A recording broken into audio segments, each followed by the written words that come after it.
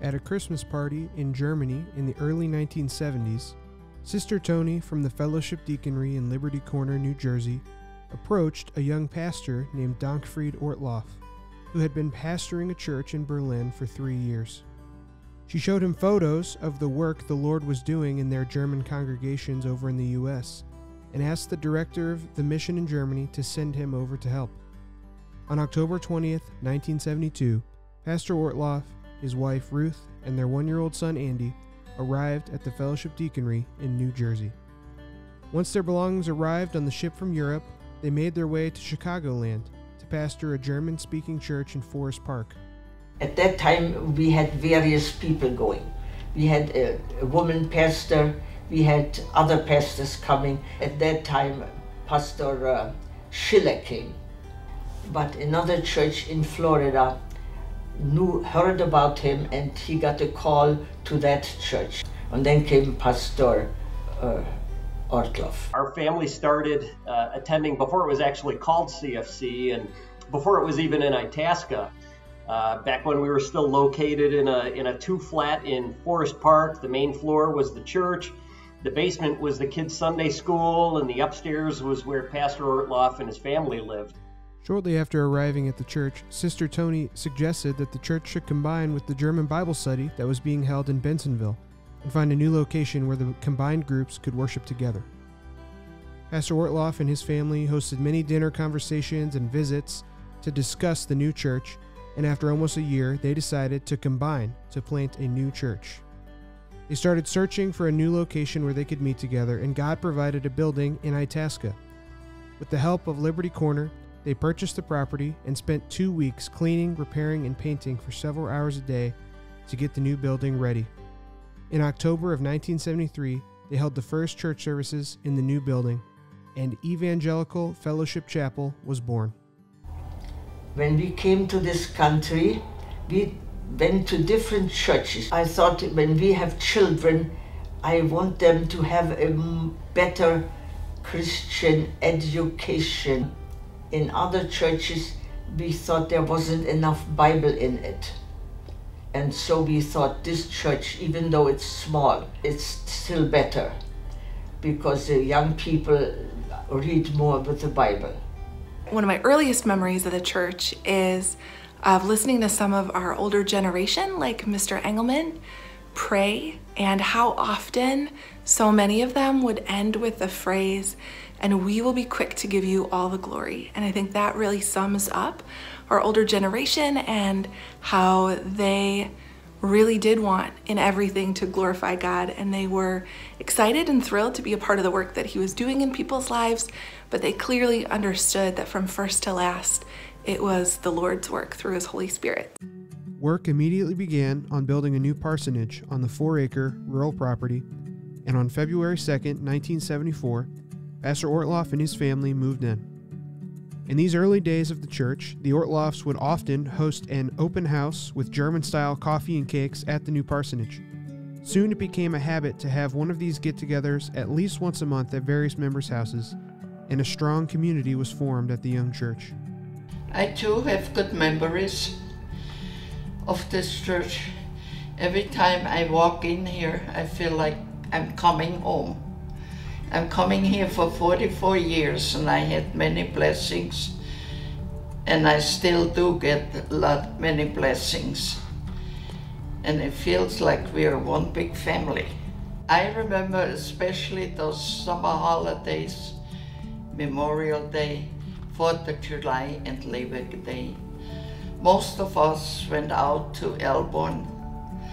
Elburn belonged with Liberty Corner Mission. We got there 10.30 was the service and after that it was lunchtime.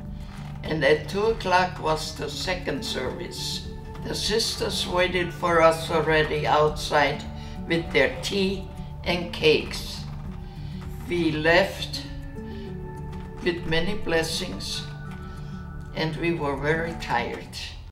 Fellowship would remain a central practice of CFC through the years, and a strong sense of family community continues at the church even now, 50 years later. Christina and Erwin got married and they were coming here first, Erwin Schultz. So I started coming with them and made a lot of friends here. The commitment to growth in our relationship and walk with Christ is what kept me here, along with, you know, solid Christian friendships.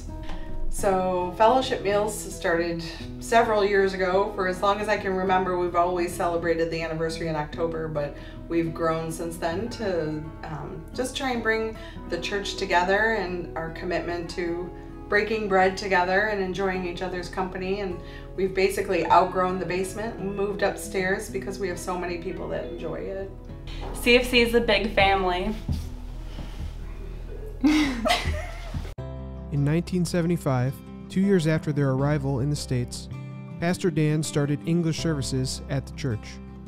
He asked God for the ability to learn English so that he could share God's word with more people, and God answered his prayers by helping him prepare his messages in English in the same amount of time it would take him to write in German.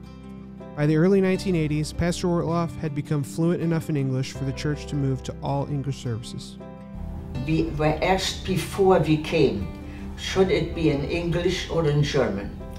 And we thought it would be best if we do it in English. I read this story in the Bible where the Peter and the other disciples could not catch any fish. And then Jesus said, Go and throw your nets on the other side of the boat. And I thought, where is the other side of our church boat? And the other side came to us is on the American side in the language of English. So we decided it should be in English. And then Peter and the disciples caught very many fish. Another feature of the young church was a thriving youth ministry. Families would come to the church with five or six children each. The older students at the church would invite their friends, and a youth group started to form. Pastor Dan started to take the youth group on retreats up to Wisconsin with station wagons packed full of kids. The Lord used this time to awaken and strengthen the youth, and they came back with testimonies of God's work and led worship at the church. The youth group used to come to our house, not the group as a group, but as friends, and hang out.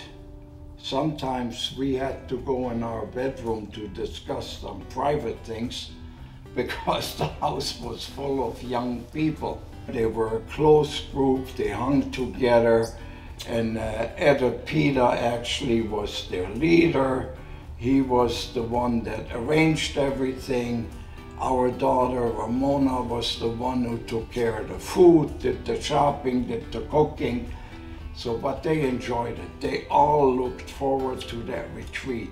And if you come back, you know how excited you are about all the things that you have experienced in the Lord and the renewals and, and all of that. So we would have Sunday, usually after that or shortly after that, we would have a sharing time for the young people of what really happened in their lives in those retreats. Back then, we had a pretty good sized Sunday school, and then we became a pretty good sized youth group. Uh, the church had a backyard that was a lot bigger than it is now, and uh, it was actually big enough so that we could have two softball games going on simultaneously. Lots of good memories, lots of good memories. CFC has continued to place an emphasis on reaching out to and discipling young men and women throughout these past 50 years. It was great growing up in the youth group at CFC. Um, when I was in sixth grade, I would look up to the older people in youth group and I would hear them talk about life as a Christian in high school and how they dealt with um, people, you know, always asking them questions, always uh, pushing back against Christianity in front of them, and how to not conform to the student body at school, um, which was a great tool. I kept everything that they told me, every, all the advice, and it definitely helped me throughout high school. For youth group, we've had very strong leaders that have taken us on some retreats where we can kind of get out of uh, suburbs of Chicago, go out a little bit, uh, usually to Wisconsin, and we can dwell on the word, well, the word while having fun with our peers. So. The area around the church changed and grew quickly over the years. Devon widened from a rural two lane street to four lanes. A neighborhood was built across the street, and soon after, office buildings started to pop up behind the church. I, I remember the drive from the city to Itasca was a drive through the country every Sunday morning. Uh, you know, back then the, the, the, church was just surrounded by farmland, and the drive up Thorndale, there were farms and, and horses, and, and it was pretty cool for a city kid. The Ortloff family planted and watered 200 trees on the wide open property. Eventually, two acres of the property and many of the trees were sold, allowing the church to become totally debt free. In 1987, there was a massive flood in the area around the church, filling the church basement with eight feet of water. The church community rallied together to clean up after the flood, and the first Bible that came floating by when they arrived at the church was opened to Haggai 2 1 through 9. The latter glory of this house shall be greater than the former, says the Lord of hosts, and in this place I will give peace. Just as many other traditions, like fellowship, have continued since the beginning of the church, so also has the tradition of the church family gathering together to help fix up the church building. In 1992, the church sent its first missionaries. Through the Fellowship Deaconry in New Jersey, Carl and Kathy Schultz, along with their three year old son, were sent to Taiwan to further God's kingdom there, and they continue to faithfully serve their church there today. He finished his uh, chemical engineering and, um, and then he worked for three years, and then God told him that he should be a full time service of, of the Lord. I asked another mission organization how do you do it? Well, they say, start in your home church and see what they say. And it was Liberty Corner, New Jersey. And they said, yes, we accept you for six years. You have to sign a contract for six years. And that is now many years ago. According to what I remember, when my dad first arrived in Taiwan, he was assisting other pastors of other Chinese churches. And then when we moved again, this time we moved to Taoyuan City. And this place, my dad actually planted the church. And yeah, he's been ministering there for well over a decade. The Chinese name of this current church he is at is called Xuanyang Jilu Jiaohui. If I were to translate that, it would be something along the lines of glowing light Christ Church. Ever since sending Carl in the early 90s, CFC has continued its commitment to supporting the work of spreading God's kingdom throughout the world, currently supporting missionaries in South Africa and Ethiopia, as well as supporting Five Stone churches in their church planning and strengthening efforts both here and abroad. Christian Fellowship Church has a long history supporting missionaries. And I think that's in part because Pastor Ortloff and Mrs. Ortloff were missionaries themselves, coming over from Germany, not knowing the language, to help minister to German speaking immigrants in the Chicagoland area. And as part of being missions focused, not only has CFC sent out missionaries, but they've helped prepare them to go to the missions field. There's an organization called International Teams, which I was a part of, and those preparing to go to German speaking countries would often attend CFC on Sundays and the German speaking Bible study to be able to learn the Bible in German and get to know the culture before going overseas. But I do pray that uh, in the next 50 years and beyond, that our church would continue to support missionaries, send them out, and just have a heart for ministering to those that need the gospel, not only in our community, but around the world. Throughout the 1980s and into the 90s, Evangelical Fellowship Chapel had grown from its roots as a German congregation to become much more multi generational, multilingual, and multicultural. In 1995, the church decided to change its name after Pastor Dan learned that many people at the time were confused about the meaning of the word evangelical. And so, in order to be more clear, the name was officially changed to Christian Fellowship Church. Many of the traditions that began in the early days of the church continued as the church entered the 2000s. The Engelman family started an annual Advent celebration at their house, where they would gather and sing Christmas hymns together, a tradition that quickly outgrew the living room of their house and continues at the church to this day. We used to have by the Engelmans uh, Advent celebration and it was a lot of fun. We had a lot of singing in English and in German, and and it was so crowded. Sometimes some people had to sit on the stairs because we ran out of chairs. We have wonderful memories, you know, of celebrating. Half the church or even more were there, singing Christmas songs, singing hymns, uh, especially that one song, Ich klopfe an, Behold, I knock. It's a long song. Mrs. Engelmann would make us sing that if we didn't. So it was one of her favorites. Great memories of Mrs. Engelmann making her Bienenstichkuchen. That's a cake. We looked forward to the Engelmann's Christmas celebration. Around 2004, Pastor Ortloff and his family started thinking about retirement. He and Ruth had experienced other pastors holding on too long and thereby hurting their congregations, so he wanted to make sure to honor God and his congregation by stepping aside at the right time. In 2006, after having served as the founding senior pastor of Christian Fellowship Church for 33 years, the Ortloffs moved to Huntley and Pastor Dan began his retirement. He made the choice to step back fully and allow the new pastor to bond with the congregation without his interference. It was a hard decision for the church that had become a tight knit family over the years, but Pastor Ortloff believed it was essential for the church to grow. Pastor Dan and me, we actually met when I came to the Lord, and that was in 1980. And he nurtured me along. He had a tremendous way of shepherding his flock. He would come to the house and ask if there's anything that I need to know, if there's anything we need, if there's any questions that I would have. And then we would go through the Bible little by little. So he would have some kind of a Bible study and then ask what that would mean to my life from here forth since I wasn't a believer. In that respect, he was a tremendous mentor.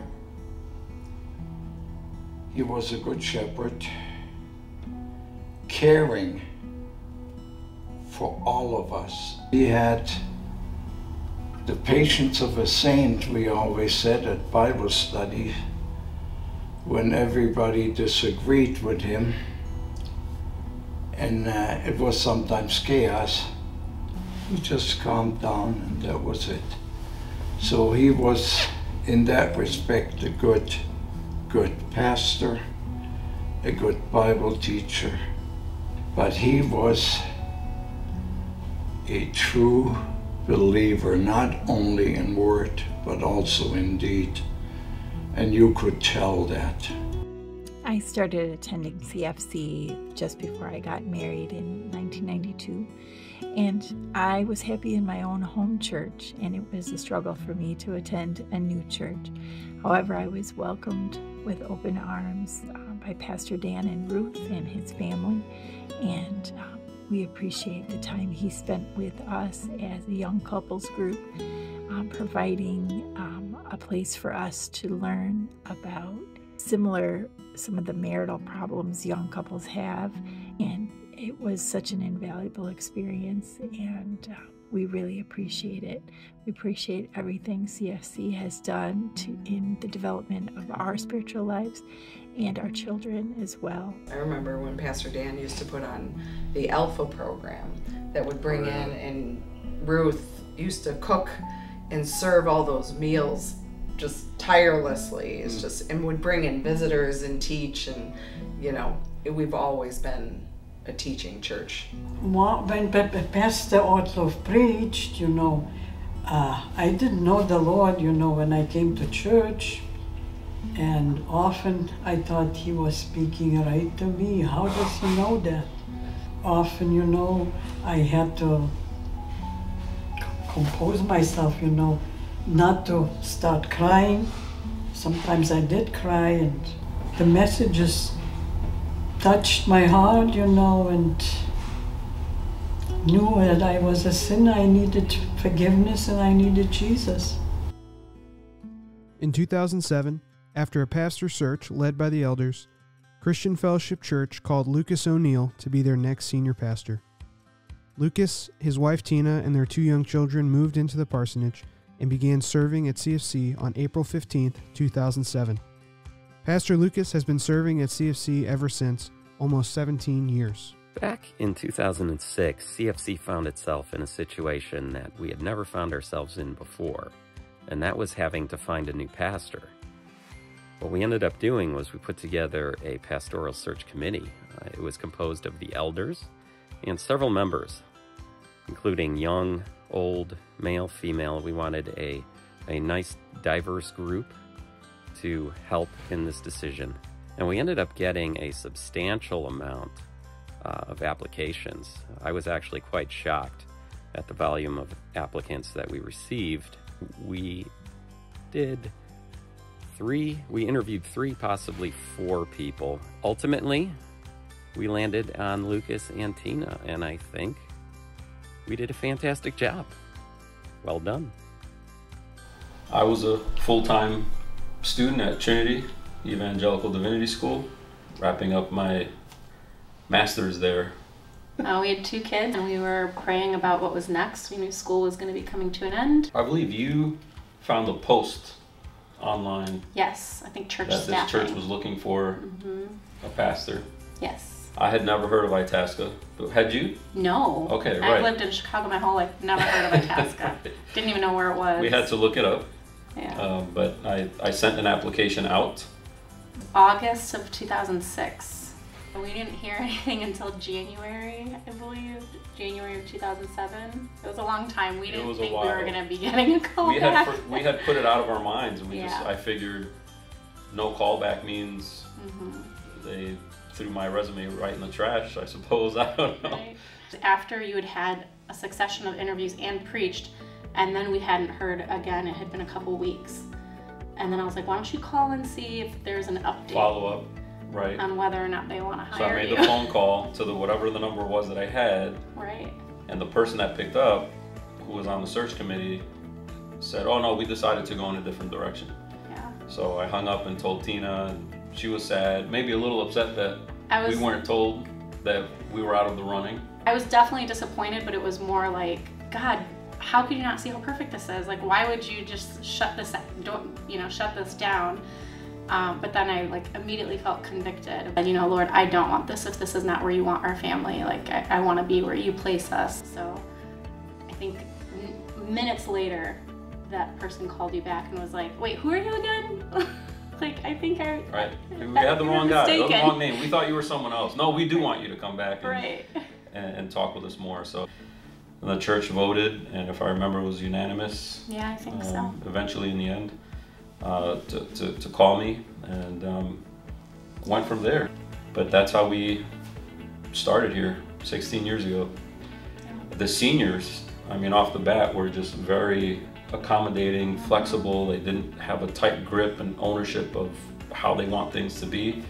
I think the seniors are one of the most commendable things about the church, where immediately, right off the bat, they were want, wanting the next generation to sort of take ownership of the church and, and move the church forward. And so you can't say that about probably most uh, churches that are were in this situation. You know, size wise, age wise, history wise. Uh, to find that, I think, was real special. I can only thank the Lord for letting me be a member of this faithful church and for giving us a good leading pastor who brings us a great message every Sunday, and for Tina, his wife, who leads the Sunday school very faithfully. One thing I really appreciate about CFC is being able to ask Lucas questions and learn from him.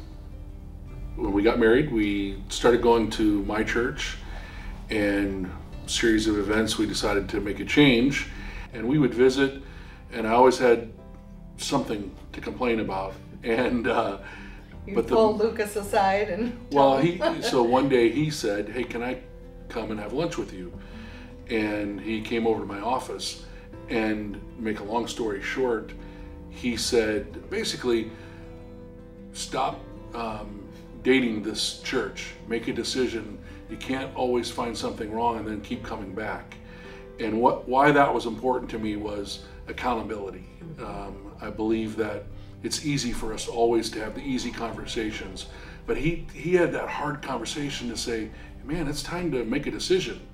And then I knew from that, knowing that that faithfulness to um, accountability also is a huge thing, and uh, so I appreciated that. Having a strong um, pastor elder is really important, and we are blessed to have a man who is committed to um, God's word. We're celebrating those 50 years, and he's been here, I think, 16 years. So I know there's, you know, Pastor Dan before him obviously made the same impact. I just didn't get to experience it, but I do believe we couldn't.